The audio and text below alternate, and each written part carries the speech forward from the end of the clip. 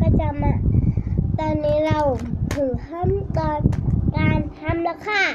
จ้ะให้น้ำร้อนหอมแล้วนะคะ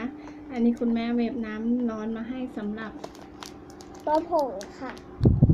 อย่าให้หงหกเชียวนะคะ พอแล้วตัดแค่นั้นพอ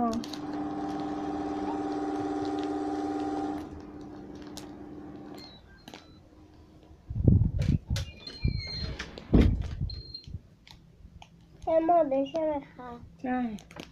พอก่อนลูกเดี๋ยวลองคนก่อน เพราะว่ามันจะเยอะไปแล้วค่ะคุณผู้ชมเดี๋ยวจะยกให้ดู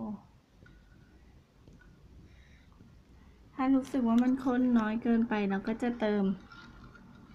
ลงไป ไหนลองยกให้คุณแม่ดูสิคะนี่ค่ะให้ไม่ใช่ยกถ้วย ยกช้อน ยกช้อน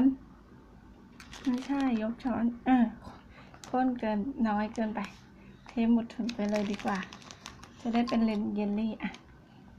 ค่ะเทเลย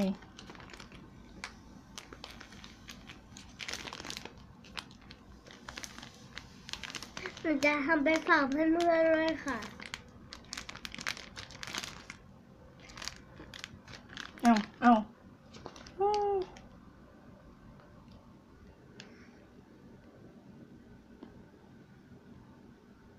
ละลายไหมลูก มันไม่ค่อยละลายเลยค่ะ ต้องคนให้ละลายให้หมด